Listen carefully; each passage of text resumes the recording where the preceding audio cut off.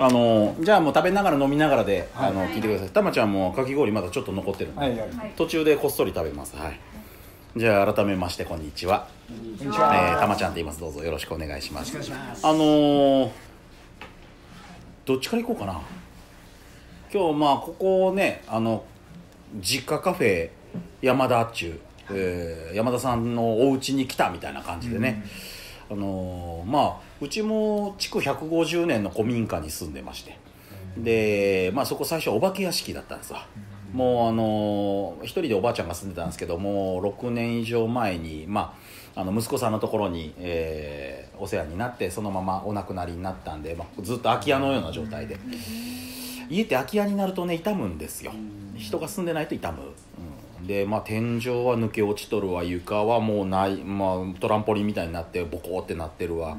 壁はな開いとるわ。コウモリはぶら下がっとるわ。そんなところでね、うん、そこに、まあ、たまたまご縁があって私が行った時にあのたまちゃん不思議な力があるんですよ。はい、さっきあのね不思議な力があるって言ってくれたんで、もう不思議な力があるんだと思いますけど。この家や場あの土地の場の良し悪しが分かるんです。私は。で、えーそれは私にとってだと思いますよ。皆さんにとってじゃないと思いますけど私にとって場がいいかどうかが分かるんです。で場がいいところはくつろげるん。そんな経験あるでしょ皆さんも。もっと場が良くなると眠くなるんです。はい、でさらに場が良くなると実際寝てしまうんです、はい、だから自分が本当に場が良かったら寝るんであのたまちゃんが寝たら本当にいい場なんだと思って。でもすでにここは眠いんで相当いい場だなと思うんですけどたまたまそこに行ったお化け屋敷まあお化け屋敷って言ったらね大家さんに失礼ですけどまあそこもう抜群に場が良かったです。私がいろんなところに住んで、えーね、もう40数年もう50年近く生きてるわけでその中で一番場が良かったそこが。びっくりしたの場が良すぎてなんだここはと思ってね。でここに住むって決めたんね、うん、そしたらあの妻はねあのまさかこんなお化け屋敷に住むと思ってないから超がっかりした らしいですわ。うなだれて帰っていきましたんで住むのみたいな。でそれをこう手直しして今あーなんとか住める状態になって。で住める状態になった時にタミちゃんとかが遊びに来てくれたんで。タミちゃんたちはお化け屋敷の頃は知らない、うん。でもねこんな似たような雰囲気ですわ。あのー家建てるのって今はね、えープラモデルなんです、うん。部品ができてんの家の。工場で部品作っといてそれを現地で組み立てるだけなんです今の家はね。でもこういうお家っていうのは大工さんがその場で材料を切ってその場で建ててんの、うん。だからここ今天井で隠れてますけどバーンって取ると梁とかが出てくるんですが梁がもうすでにまっすぐじゃないです。まっすぐの材なんか使ってません。曲がってます。自然の木ですから。でもその曲がりをうまく生かして作ってんの。木。ね。こういうふうなまっすぐにあのーなんちゅうのかな木目が揃ってるのはこういう柱に使って。曲がった木えーは、うん、そういう曲がった性質が活かせるところに使ってるわけです。昔の大工さんまあ大工さんに限らない。昔の人はみんなうーんその生かすっていう視点で物事を見てるんです、ね、ところが今現代はもう曲がった木なんか使えねえよっつってまっすぐな、えー材料だけ探そうとしてるのね。学校とかでも社会とかでもそうでしょ。ねみんな揃ってないとダメ。農作物だってそうでしょ。まっすぐじゃないとダメ。規格にね外れたやつはダメって。昔はそんなことは全くなかった。それぞれに、えー活躍できる場所がある、うん。その場を生かす力を持ってた。いやもっと言えばその性質を見抜く力を持ってたんですね、うん。ああ本当に教育そのものやなって思います。自分たちは子供たちを同じ大人に育てるのが仕事ではなくて子供たちの良さをどれだけ見出すことができるのかどれだけ発見することができるのかそしてその良さをどう生かすために、えー場を設定するのかそんなのが自分の仕事やなって思います、まあ、農業やってるとねそんなことを深く考えるようになるわけです。今私は農業をやって田んぼと畑と向き合いながら生活してますけどもうね自分の中では田んぼや畑がかつての自分の教室と同じです。でそこにいるお米や野菜たちが子供たちと重なって仕方がない、うん、だからフィールドが変わっただけで自分のやってることは何ら変わってないんで、うん、あ農業と教育ってこんなに深い関わりがあるんだって思ったんですね。でたまちゃんはその、まあ、なんで農業に入っていったのかっていうと話すと2時間ぐらいになるんでね、まあ、それは話しませんけどあのたまちゃんがやってる農業っていうのは普通の農業ではないんです、えー、普通の農業、まあ、それを観光農法っていう、えー、日本を支えている農業はその普通の農業です。だから皆さんは普通の農業を大事にしてください。で大事にしないとどうなるかって言ったら皆さんの命が危なくなります。食べるものがなくなるんですから。今皆さんの食を支えている農家の人たち平均年齢がもう60歳をはるかに超えてますよ。70代80代のおじいちゃんおばあちゃんが皆さんの食を支えてるんですよ。はい。あと数十年で確実に危機が訪れます。だから農家の皆さんを大事にしてもらいたい。その人たちがいるから私たちはこうやって生活ができるわけで。で、えー、たまちゃんがやってる農業っていうのはまあ、その人たちが国を支えてるんでたまちゃんたちは、えー、ちょっと実験ができるわけです。あのね農業っていろんな階段があると思ってください。上に登るほどおかしくなってくるんです。上に登るほどやってる人がおかしいんです。はい。わかります？あの普通の大多数の人がまともな人なんで農家さん超真面目ですから、はい、で、えー、普通の農業。でちょっと階段上がってちょっとおかしくなると有機農法っていうのをやりますわ。つまり、え、肥料化学肥料を使わずに、え、動物や植物由来の肥料を使って、え、それで育てていこうっていうのが有機のちょっと頭おかしいんですねこの人たちは。でもそこからさらにおかしくなるともう農薬も使うのやめようっていう人たちが出てきます。それがね無農薬無農薬農業っていうやり方ですね。相当おかしいですね。はい。あのー、なんでおかしくなるのかっつったら収量が下がっていくからですどんどん。収量が下がっていくっていうことは、えー、農家さんの手元にやってくるお金が少なくなるっていうことですよね、うん、普通は、えー、そういうおかしい道に進む人はいません。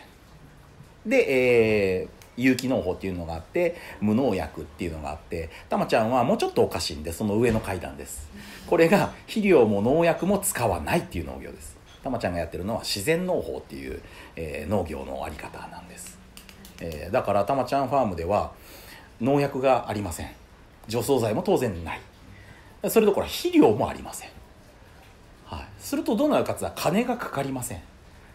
全く、はい、農薬とか肥料って高いんですよ、はい、一袋一袋はそんな大した値段じゃないですけど山ほど必要ですからそれが、はい、面積が面積ですんでね、うん、でもじゃあたまちゃんたちは相当おかしいんかっていうとそんなことはなくてその上があるんですね。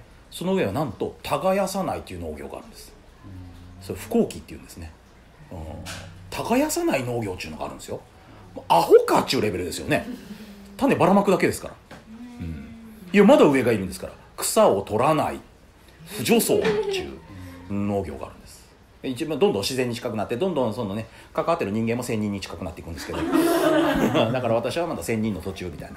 ヒゲも中途半端みたいなね、これがあの無助走とかになると白ひげもじゃもじゃのこんな、ね、雲に乗ってるような人が登場するわけです、はい、でもその自分が農業に携わる前っちゅうのはこう思っとったんです私ね。農薬なんか使わんけれええのにと思っとったんです。ね、農薬なんか使わんきゃいいのにだってね農薬ない方がいいに決まってるやんって、ね、なんで使うんやろうって。しかもそのいろんなことを聞く農家さんって、えー、お米屋さんねお米の農家さんね自分のところで食べるお米には農薬使わないんです。で育って別の田んぼで育ってるんです。それ最初に聞いた時にねなんてずるいやり方なんだって思ってたんです。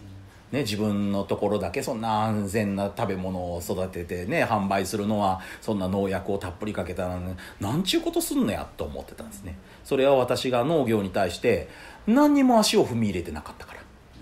世の中見てごらんなさいよ。今の世の中はもうねそんなのがよくわかる世の中でしょ。ねなんかちょっと失敗したりなんかちょっとやらかしたりするとものすごい数の避難や攻撃がやってくる。ね。でもよく見てごらんなさい。その避難や攻撃をしてる人。当事者はいませんから。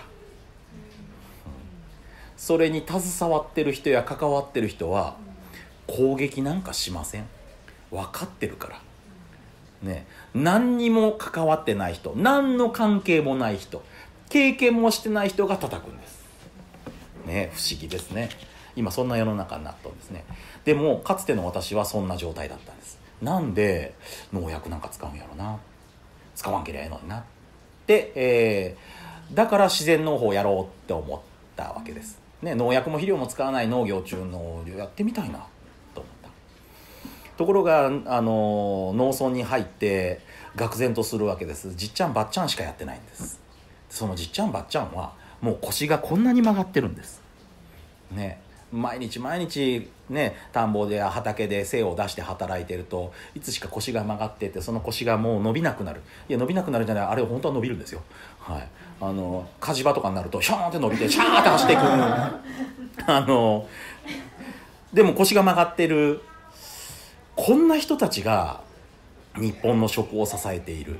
私自然農法をやってよく分かったことがあって。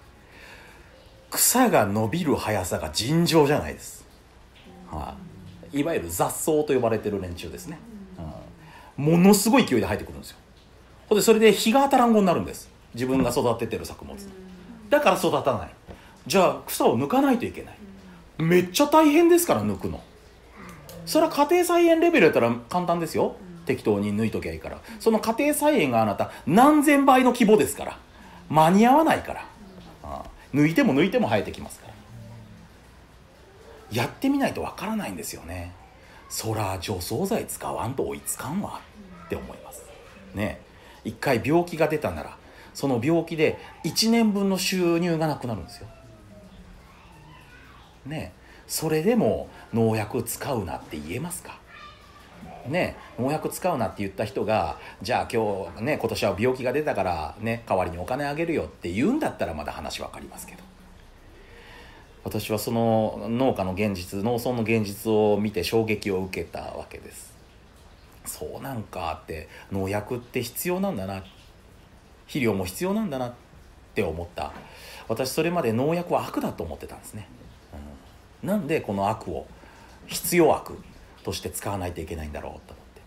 でもどうやらその農村の実態を見てるとこれは使わないとしょうがないよって。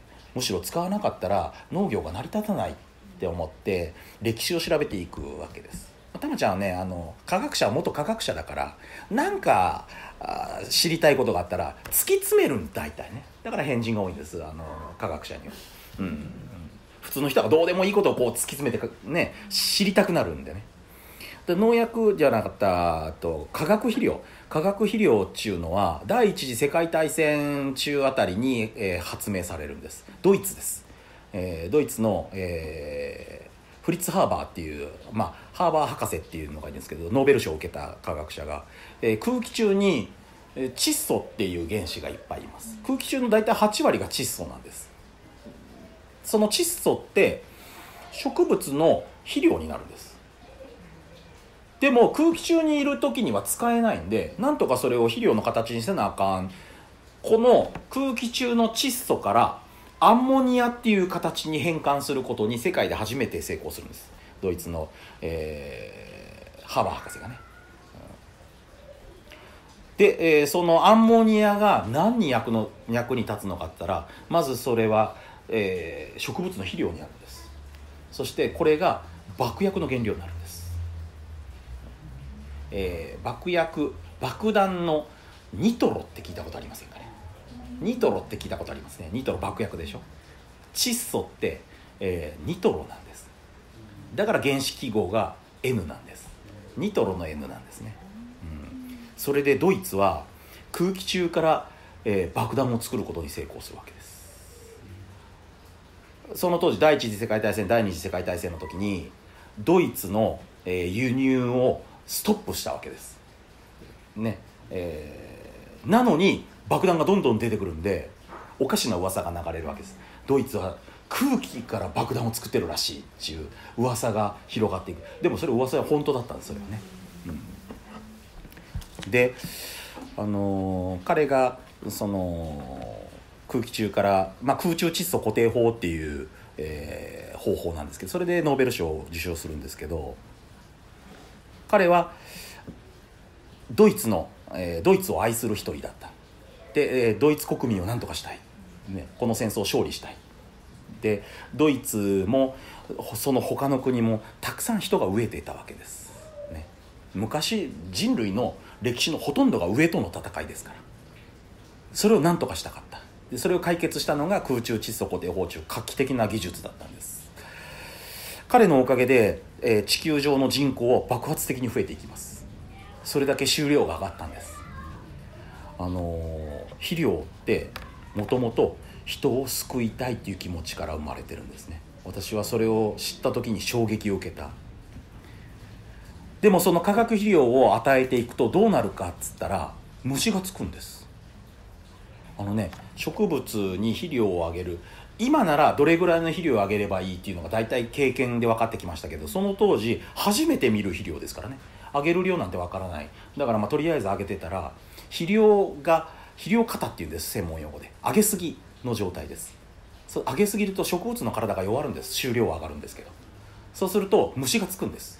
虫って弱った植物にしかつかないんです。でも虫がついて収量が落ちるでしょ。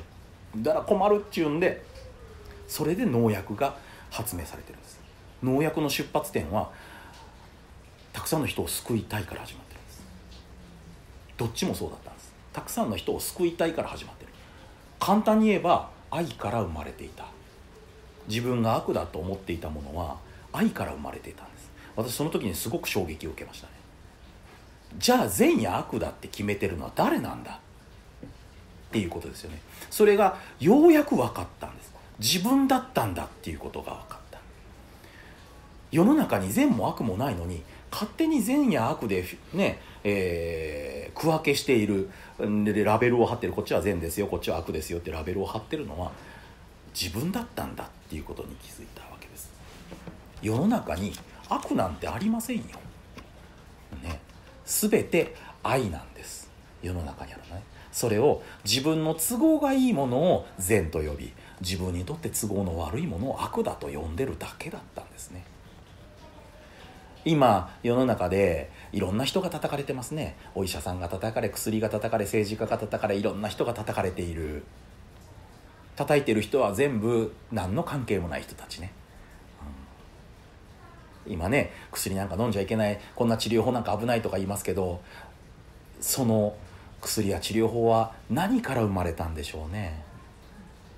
たくさんの人を救いたいっていう愛から生まれている。じゃあ政治はどこから生まれたんでしょうね。国のみんなをよりよく幸せに過ごさせたいっていう愛から生まれてるんですよね。いつしか私たちはその本当の思いに気づかなくなってただの表面だけで物事を分かったつもりになっている。それがたまちゃんが農業に携わって、えー学んだ一番大きなことだったんです。私たちが雑草雑草と呼んでるものっていうのは何かっていうと役に立たない草なんです自分にとってね。でも役に立つ役に立たないっていうのを決めてるのは自分なんですよね。うん。植物の命にとって雑草とか雑草じゃないとか商品作物だっていう区分けはしてないわけです。ただ自分にとって都合のいいものが、えー商品作物で。都合の悪いものが雑草っていうだけの話でしょ。そうか。自分が決めてたんだって。世の中に悪が生まれるのは自分のせいだったんだなっていうのが分かったです、はい。そしたら世界が変わりましたね。世の中に悪なんか一つもなかったんだ。世の中は全て愛で満たされてたんだっていうのが腑に落ちた瞬間にうん私の人生は音を立てて変わりました。それがここ12年の間ですよ。ね。あのそれまで私は生まれてきた意味があるんだと思ってたわけです。自分の命に意味があるはずだ、ね、その自分の命意味を見つけて全うしたいと思ってたんですよね、うん、人のお役に立ちたいと思っていたわけです。ところがこの世にある全てが愛から出発してる。当然私自身も愛から出発している。ということはどういうことかっつったらもうこの世にいる全てのものは満たされているっていうことに気づいたわけです。自分がやるべきことなんか何一つなかったんだなっていうのが分かったんです。だから私人生に意味を見出すのをやめましたその時点で。なんだって。ここに生まれてきている時点でもう大きな意味は達成したんだな。今ここにいるだけでたくさんの人の光になり得てるんだな。自分もこの地球上の愛の一員だったんだな。それで十分じゃないか。と思ったんです。そうすると生きていくのが楽になりました。自分が自分らしさを表現すること。それがこの地球を愛で包むことだっていうのが分かったからです。不思議ですよね。そうすると雑草が敵だとは思えなくなった。ね。そこにいる虫たちが害虫や液虫やねいろんな虫だね思えなくなった。全部は生き物俺と同じなんやなお前もよう頑張ってんなっていう目で見えるようになってきたわけです。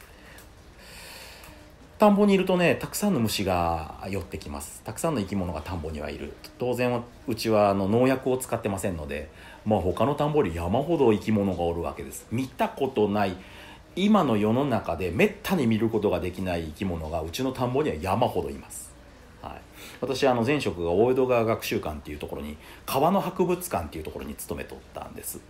そこにはあのその川の流域の自然に住んでる、まあね、生き物を展示する、うん、施設やったんですけどゲンゴロウって言いますね。ゲンゴロウは今ほとんどいないんですで私がその大江戸川学習館っていうところに勤めてた時にこのゲンゴロウを捕まえるのがめっちゃ大変やったんです。どこに行ってもいないんですよゲンゴロウが。昔は田んぼにいたのに。でね捕まえるのが大変でね捕まえたら万歳万歳って職員たちと万歳してたのに私がふと田んぼに自分の田んぼに行くとゲンゴロウが何百匹もおるんですよね。お前どこに隠れてたんだお前みたいなね。今3年前に戻ったら俺多分ねここら辺で3メーターぐらい飛んでるわ万歳でつってね。ゲンゴロウだけじゃない。太鼓打ちはおるわタガメはおるわ山ほど。ゲンゴロウやタガメがね空飛ぶの初めて見ましたから私。あいつら空を飛んで田んぼにやってくるんです。ブーンって。あもう一番分かりやすいのはトンボです。トンボ。あのーよく皆さん赤とんぼって言いますね。赤とんぼとか塩辛とんぼとか鬼山とかよく知っとでしょうが。ね。赤とんぼって、えー、皆さんがこっちはまだ東北じゃないんであでも境目だな、えー、私たちが一般的に赤とんぼって言ってるのの正式名称は赤とんぼじゃないんです。薄葉きとんぼって言います、えー、薄葉っていうのは羽が薄い。きとんぼなんです。黄色なんですあれ、はい、薄葉きとんぼが赤くなってるんで赤とんぼ赤とんぼって言ってるわけです。えっ、ー、とちょっと上の方に行くと秋茜っていう名前になります。赤とんぼそれはもう茜ですから赤いトンボです。今ね田んぼの上にねトンボは飛んどらんのですよ。なんでか分かりますか？田んぼに生き物がいないからです。ところがうちの田んぼ恐ろしい量いるんですよそれが。えどれぐらいもうねこれこの話いつもその「たまちゃん話盛りすぎ」とか言うんですけど私の田んぼの1枚の田んぼに3万匹以上います。で想像できないでしょ？田んぼに入って草取りしてるとバッチバチ当たるぐらいいます。で当たるだけじゃない止まるんです。ピッピッピッピッピッって止まって。なんでお前止まってんの？みたいなね。お前逃げない。とか言っても逃げないですよもう山ほどいますからわーんって。それぐらい生き物がいるんです。うちにはね。であの田んぼの中には虫がたくさんいるんですけどそれって、えー、まあ害虫っていうのがいますよね。この害虫をどかすために農薬を使うわけですからね。ほんでまあそれを食べてくれる液虫っていうのがいますね、利益になる虫。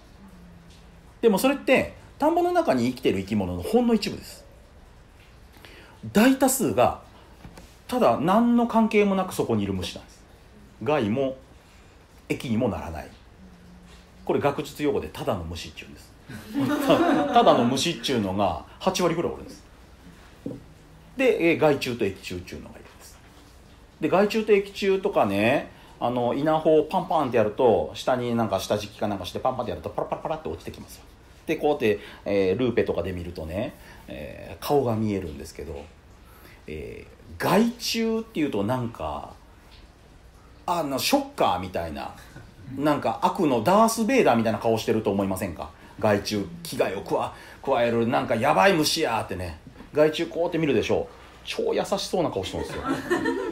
お前何この仏様みたいな顔はってお前液中じゃねえの？みたいなね。はい、で私たちが液中と呼んでる役に立ってる虫を見るとこれだ！悪役だ！そのものだこいつらはって。悪そうな顔してるって。そりゃそうですわね。だって害虫は草食べとんでしょうが草食動物ですわ。ね。液中というのは肉食動物その、えー、害虫を食べるわけですから。ね。もう害虫の方が優しい顔しとって液中の方がね獰猛な顔しとるってなんかびっくりしますけどね。うん。でもそういう虫たちが命をつなげながら生きてるんです。不思議で。だからうちの田んぼ見てたらまあ本当に面白いですわ。あのー、農薬っていうのは害虫をどかすために始まるんですけど害虫をどかすとどうなるかっつったら液中の食べ物がなくなるんです。だから液中がいなくなります。で当然ね農薬をまくだけですわけですから液中にもただの虫にもそれは害があるわけで、えー、虫がいなくなるわけです、虫がいなくなるから肥料をあげないといけない。まあそういうことなんです。あの除草剤とかまくから肥料が必要になっていくわけで。でもうちの田んぼ肥料も何にもやってないのに毎年毎年たくさん実ってくれます。あの自然っていうのはちゃんとうまく循環してんだよなって思いますね。でうちの田んぼ見てたらまあ本当にね命がつながるっちゅうのがようわかるんですけどどこから話しましょうかね。まずあの夏ぐらい夏ぐらいにカメムシを退治せないかん時期がやってくるんです。カメムシって分かります？あのもう触ったら2週間ぐらいな匂いが取れない。もうあの匂いさえなければ全然 OK なのにってね。似たようなのに半妙っていうのがおるんですよ。まあ、半妙はちょっとスリムでシュルってしてますけど半妙は別に触っても匂いしませんので半妙は人気があるんですよ。大して変わってねえのに姿形って。カメムシは不人気なんですよ。なんでかっつったら匂いがするから。あの匂いがもうやってられん匂いですんでね。ちなみにあの匂いね科学的に合成することができるんですよ。お家でできますからやってごらんなさいよ。もうこんなこと録音してどうかなと思いますけどね。家に味の素ってありませんか、はい、味の素をねスプーンにのせてガスコンロにくべてください、はい、カメムシの匂いになりますから。でそんな話するとね子供たちが「本当ですか先生やってくださいよ」って言うんですよね。でやると理科室からきれいにいなくなります。こいつがね、うん。そうかなんか悪さしたらこれ炊けばいいんじゃんみたいなね お前と今度からお前たち悪さしたらこのお香を炊いちゃうよっつってね。あんなこと言っとったんですけど。あのカメムシって農家にとってはもうね大敵なんですよ。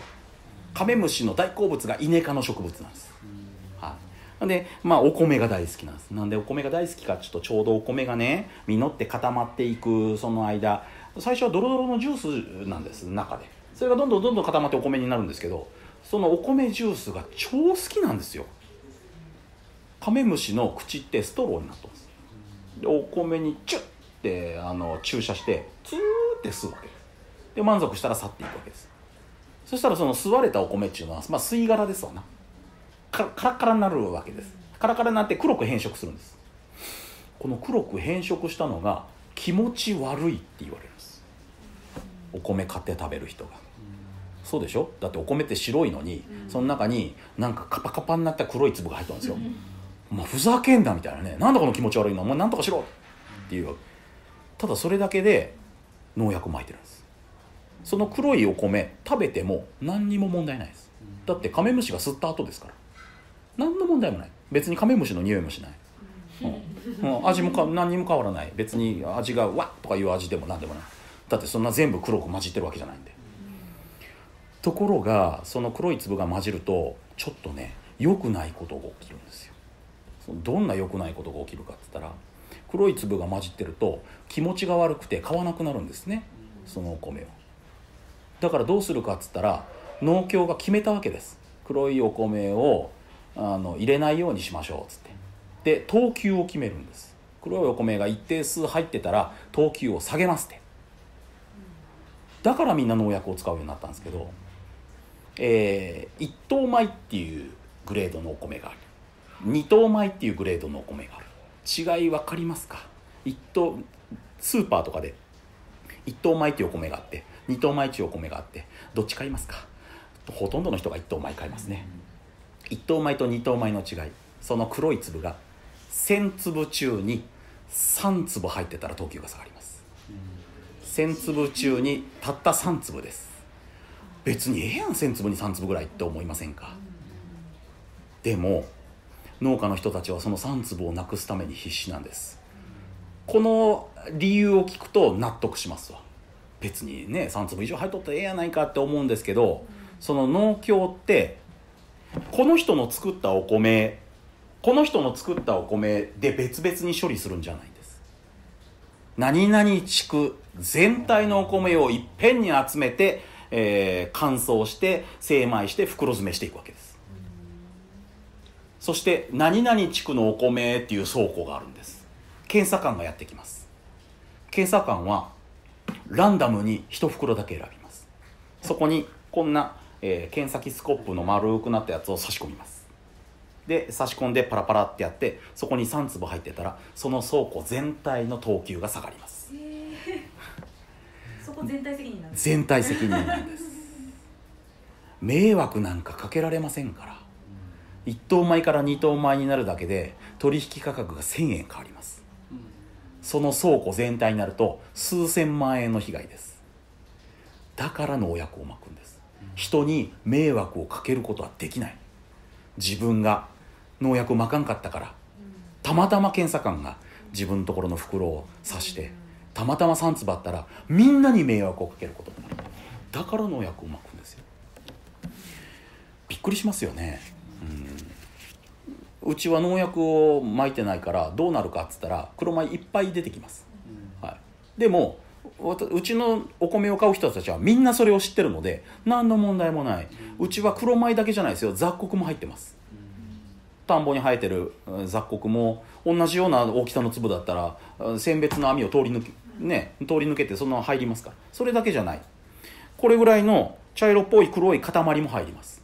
でこの茶色っぽい黒い塊何これ？気持ち悪いとか思うんですけどこれが何かっていうと米麹なんです。米麹がこれぐらいの塊になって、えーと、米粒の23倍ぐらいの塊かな？になって入ってくるんです。昔の人たちはそれで味噌や醤油を作っとった。でも見た目があんまりいいもんじゃないんでなんかの何これ鳥の糞みたいな感じなんで気持ち悪いからっつって、えー、なんと米麹は病気に指定されてるんです。米麹病っていうんです。おかしいですね。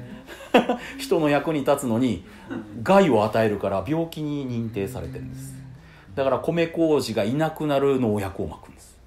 そうすると米麹はないところがうちは巻いてないから山ほど米麹が集まる。で今その米麹取ってますんでそれで味噌や醤油を作ろうとしてます今。ね不思議ですね。知れば知るほどね農家さんって大変やなって思います。そして肥料や農薬を買うのにはお金がたくさんかかるんです。農家さんってお米だけではやっていけないんですよ。お米の取引価格、えー、農協での出荷価格っていうのは30キロが一つの単位なんです、えー、昔1票とか言ってましたよね。1票2票で俵で表してました。ね俵1票60キロなんです。昔はその俵は担げたんです。ところが今の人は60キロも担げないんです。だから今の1票は30キロになってます。それが紙袋になってるんです。その30キロのお米、えー、取引価格6000円ですよ。えー、1単っていう単位の田んぼこれが基本です。1単で、えー、1単で取れるお米が大体10票ぐらい10票から15票ぐらいの間です。まあ最大15票取れたとしてその1単の田んぼで年間いくら、えー、農家さんに返ってくるのか。計算したらすぐ分かることでしょ。ね8万円ぐらいなんです。1単やって8万円一丁部ってそれの10倍です。一単っていうのは 100m×10m の土地です。一丁部っていうのは 100m×100m の土地です。一丁目やって80万ですよ年間。生活はできません。ね。だから小規模ののあ米農家さんは専業農家はいません、うん。兼業農家って聞いたことありませんか、ね、他に仕事をやらないと生きていけないんです。大変やなって思いますね。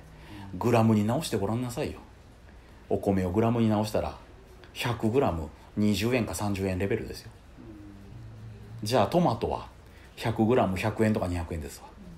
ねえ。理由があるんですよそれには。お米ってないと生きていけない。生活必需品ですね。お米とか水とかそうでしょ。あのね生活にどうしても必要なものはどうしても必要だから常に供給が多くなるんです。なくなったら大変だから。だから供給過剰なんです。供給過剰になるから値崩れを起こすんです。だから今のお米の値段っていうのは値崩れの状態なんです。それが証拠に一旦不作になった瞬間にこのお米の価格は何十倍にも暴騰します。ん十何年間20年近く前にありましたね。お米が記録的な不作で外国から輸入してっていう時代がありましたよね、うん。あの時はお米の価格が何十倍にも膨れ上がったわけです。でお米が買えなくなった。水もそうですよ。ね。水も今危ないですよ。まあそんな話は今日しませんけど。トマトとか他のまあ他の野菜とかはなくても死なないんでなくても死なない作物は適正な値段で流通するんです。だって供給別にたくさん供給する必要ないからなくても死なないから。だから 100g100 円や200円ぐらいが農産物の適正な値段だろうって言われてます。それよりも米の値段ははるかに下なんでお米農家さんはそのうちいなくなります。大変ですね、でもなんとかせなあかんなと思って今自分たちはやってるわけです。あのーうちの田んぼってその農薬も肥料も除草剤も何もやってないからどうなるかっつったら夏になったら草原になるんですわ。この間まで田んぼだったのに今日見たら草原になってるみたいな。どこに行った米みたいなね。うん。でもうその草取りが始まるんですけど草取り大変ですよもうはっきり言って。手でやらなあかんからね、うん、だから這いつくばって2ヶ月ぐらいやってますから。2ヶ月ぐらいやっても終わらないですから一丁分もあったらね。でもうしょうがないから実験したんですわ。もう無理だよこれ。っつってね。じゃあ実験しようっつって。草も生やしっぱなしにしようっつってね。生やしっぱなしにしてもしそれがね普通に取れたら俺ってなんかヒーローになれるんじゃね？みたいなね。取らなくても大丈夫やよみたいなことを大発見だみたいなこと言ったらねみんなからこうねお前ようやったみたいな。でやってみたら草取らないといけない理由がめっちゃ分かりましたわ。ほんでどうなったのかっつったらいやいや途中まで全然大丈夫だったんですよ。えー稲の高さと冷えの高さって全然違う。冷えの方がはるかに高いんですけど別にすくすくすくすく育ったんですよみんなで。あこれはいけるわと思ったら台風が来たんです。台風が来たらどうなったのかっつったら冷えが全部倒れたんです。冷えってとにかく上に伸びることしか考えてない。稲の背丈を越えなあかんから。越えな日が当たらんから。下まで木取られるわけですよ。あの根っこよりもこっちの背丈を伸ばそうとする。だから根っこが十分に育たない。で風で倒れるんですよ。で稲はうち農薬も肥料もやらないとどうなるかっつったらとにかく栄養分がないから必死になって探すんですよ。だから根ががっちり出来上がるんです。だからいくら台風が来ても倒れるのです。でもあの冷えが倒れるでしょ。巻き込まれて倒れたんですよ。で巻き込まれて倒れたらいくら起こしても冷えがまた倒れるんでもう復活できなくなったんですね。それで半分ぐらいダメになりました。去年は。ああやっぱり草取らなあかんのねと思ってね。チッとか思いながらね。まあいいやいいやとか思いながらあのまあそれは全部もうねすすき込んでまた来年の肥料にしましたけど。あそうか意味があるんだなと思ってね。まあそんなバカなことする人あんまりいませんからね、うん、科学者ぐらいですそんなことやるのはね、うん、でも中にはおかしい人がいましてね。あのもう草をなんとかしたいっちゅう草との戦いなんです自然の方っちゅうのは。もうなんとかしたいんでこの雑草の弱点を見つけてやるっていうね頭のおかしい人が出てきたんですよ。ほんでこの人が本当におかしいんですけど何をしたのかっつったら雑草を生やすだけ生やして勝手に生えていきますから。で種花咲かして種取ったんです。で種取ってこの種大事に取って、えー別のところの畑きれいに耕してその種全部植えてったんです。ペーって。商品作物と同じように。そしたらその雑草が一斉にわーって出るでしょ。ほんでそんなわーって出たやつに火で炙ったりとか牛乳かけたりとか木作液かけたりとかねこの虫を生やしたりとかいろんなことやってどれか一発でも当たればいいわけでしょ？こいつの弱点が分かれば全国の人から「ねお前ヒーローや」って言われるじゃないですか。だって何やっても生えてくるんですよこいつ。ね買っても買っても生えてくるんですよ。だから何とかして弱点を見つけたいって思ってねそうやって生やしたんですけどまあ本当にねウルトラ級の衝撃だったんですよ全く生えなかったんです。その雑草は丁寧に耕して種取りしてそれだけ植えたらちっとも生えなかったんです。何回やっても生えなかったんです。はい。でその時にその人は、えー衝撃を受けてこういう結論に達するわけです。草ってし生き物って単独で育つことはできない。なんで雑草が買っても買ってもバンバンバンバン生えてくるのかっていうのはいろんな雑草がいるからだったんですだからそいつらが助け合って支え合ってどんどんどんどん生えてるんです。でそれをどんどんどんどん草抜きして自分が育てたい作物ばっかり育ててると弱るんですよ。私その本を読んで衝撃を受けてその後ものすごく腑に落ちたことが一個だけあって私があの教員時代に、うん、習熟度別学習っていうのが流行った時期があったんです。もう十何年ぐらい前の話かな。簡単に言えば勉強できるやつ普通のやつアンポンタンを、クラスに分けて、えーそのレベルに応じたあの先生をつけて、えー丁寧に指導していきましょうっていうのが流行ったんです。全くうまくいかなかった、うん。うまくいくはずだと思ったのに全然うまくいかなかったんです。でそういう経験をしていた。謎が解けたんですよその本でね。そうかって。ね。エリートだけ取り出しても全然うまくいかない。雑草だけ取り出しても全然うまくいかない。みんなが混じってなきゃうまくいかないっていうことが分かったわけです。世の中には勉強ができるやつもおれば勉強ができないやつもおればかけっこが早いやつもおればどんどんびりなやつもおればねえーいろんなやつがいるからこのクラスはみんなで伸びていける。それをピックアップして別のクラスに持ってったところでひょろっとしか伸びないわけです。うわこれ教員時代に知っとったらすげえ衝撃やったやろうなって思いました。それが去年ですね。うん。命は競い合ってない。命はみんな助け合って支え合って伸びているっていうことに去年気づいたわけです。なんだ？俺らって何ができるとか何ができないとかは関係がないんだって思ったんですよね。何ができないからコンプレックスを持つとかね。ね、例えば勉強ができねえから俺ダメなやつやって、ね、かけっこいくらやっても遅いから俺はドンケツやからもう本当もうカスやってね。俺何の取り柄もねえから俺いてもいなくても一緒じゃねえかって思う必要は全くなかった。逆にそいつらがいなきゃいけなかったわけです。ね？これってたくさんの人の希望になるだろうなってたまちゃんは思いますね。あなたがそこにいることが全体を伸ばすことにつながっている。という事実ですね。私はそれをその自分の育ててるお米や野菜から教えてもらうことができたわけです。いや農業ってやればやるほど不思議やなと思うしやればやるほど教育と同じだなって思います。私がやってること教育の世界にいる時にたどり着いたところがあってそれは目の前の子供を信じきることだったんです。私が、え教教員人生の後半でやっていたことは目の前の子供たちを信じきるっていうただその一点だけだったんですね。でも農業も全く同じでした。目の前の命を信じきること。ああそうなんだな。育てるじゃなかったんだなと思います、うんだってよく考えたら私お米や野菜を育ててるわけじゃないんですよね。育ててるのは自然です。周りです。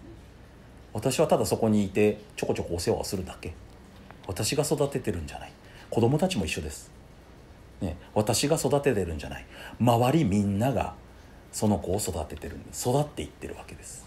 そうか。って育てるっていう視点はよくよく気をつけなあかん言葉やな。って思いましたね。育てるっていう概念が自分に入ってきた瞬間に見えるものが見えなくなるんじゃないかなっていう気がしますね、うん、あのー、どこから言いますかね。えー今私その地区の中で農業をやってる一番ペーペー下っ端です、えー、年齢が一番若い。だからもうじっちゃんやばっちゃんみたいな人たちがやってるんでね。まあ息子みたいなもんもっと言えば孫みたいなもんですわ。地区の人からすりゃね。その人たちってそのやりたくてもできなくなるんですよね。やっぱ重労働ですから。しかもこんなに腰が曲がってるわけでしょ。じっちゃんばっちゃん私自分で体験したからこそ分かるんですけど毎日朝5時ぐらいからそんな腰を曲がったおじいちゃんやおばあちゃんが田んぼや畑に出て仕事したんですわ。その人たちを見た時にもう一生この人たちを追い越すことはできんと思ったんですよ、うん、目の前にいるじっちゃんばっちゃんにこの人たちはすごい人やっていう思いが自分の中に生まれてきたわけです。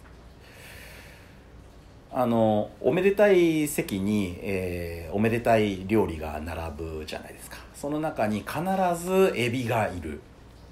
ね。おめでたい席に必ずいるのがエビなんですあれなんでおめでたいか分かりますか？色が赤いからじゃないんですよ。腰が曲がってるからです。あのエビはお年寄りの象徴なんです。昔のじっちゃんやばっちゃんは腰が曲がるまで仕事をしとったわけです。それに対して、えー、私たちのご先生はみんな敬意を抱いていた。だからエビってめでたい食べ物なんです。そんな気持ちをね自分たちはいつの間にかどこかに置き忘れてきたのかもしれない。ね。あんな風にはなりたくねえなって農村を飛び出た人たちが山ほどいるわけです。でも今まさに教育と農業の時代がもう一度ねあ始まるのかなっていう気がしますね。あのね国の根幹が教育と農業なんです。教育と農業をないがしろにした国は必ず滅びるんです。ね。教育も農業も、えー、紆余曲折があってね、えー、危機的な状況に陥っている。でも今から新しい時代が始まると思いますよ。面白いだろうなと思います。教育の世界だってそうでしょ。今段階の世代がどんどんどんどん抜けてますね。段階の世代は波風立てるなよっていう人たちですから。俺が退職するまでせめて何もやらないでくれ。ね。そんなところで10年も15年も頭を押さえつけられてた。俺がトップに立ったら絶対こんな学校にしてやる。俺がトップに立ったら絶対教育を変えてやるっていうね。諦めてない人たちが次トップになりますから。いや相当面白いと思いますよこれ。もう教育も今から激動ですわ。農業もそうです。ね。やりたくてもやれないじっちゃんばっちゃんたちがいなくなって。次もう危機的な状況が来ますね。食べ物の価格が間違いなく暴騰しますわ。だから作り手がいないんだから。でも今農業をやりたいっていう若者たちや、ねえー、ちょっとリタイアして農業に取り組みたいっていう60代の人たちって山ほど出てきたんです今。その人たちが多分農業を変えると思いますよ。面白いなと思います。ね私は幸運なことに教育の世界にも農業の世界にも携わることができた。ああラッキーやなって思いますね、うん、自分が作った、えー、野菜やお米を食べると不思議な気持ちが生まれてきます。どんな気持ちか。目の前の食卓の料理が愛おしくなります。そして自然に手を合わせたくいやこれ本当に不思議です。自分が育てた作物は最後まで食べたいと思う。ね大きいのもあるいはちっちゃいのもあるんです。当たり前全部同じね、えー、大きさの野菜やお米ができるわけがない。でも大きい野菜もちっちゃい野菜も同じように愛しい。ね大きい野菜もちっちゃい野菜も何とかしてねあ生かしたいと思う。それが私が子供たちに伝えていかなあかんことかなって今思ってます。ね、自分が経験したこと自分が、えー人生の中で気づいたことや学んだことを次の世代に伝えていく。自分たちはそんなあー責任を背負ってるのかなっていうふうに思いますね。だから皆さんが皆さんの人生で気づいたことや学んだことをぜひ次の世代、えーに伝えてほしいんです。自分もっと言えば自分の人生をたくさんの人に伝えてほしいんです。それが、えー世の中生きる力につながるのかなって思いますね。こんな真面目な話でいいんですか、ううんこの話とかしなくていいんですか？うんこの話とかせんでええんですか？まあ一応あなたが農業の話してくれって言うからするつもり全然なかったんですけどやりましたけどもういいですか？そろそろ。次はうんこの話。するか